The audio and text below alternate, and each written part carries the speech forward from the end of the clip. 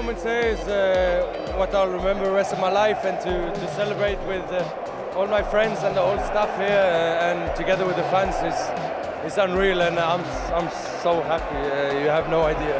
I expected to have the medal, but to have this many goals, I didn't do, to be honest. Uh, but it's unreal, and it's it's such an amazing feeling, and I'm gonna celebrate the whole day and all night because I look so forward to it.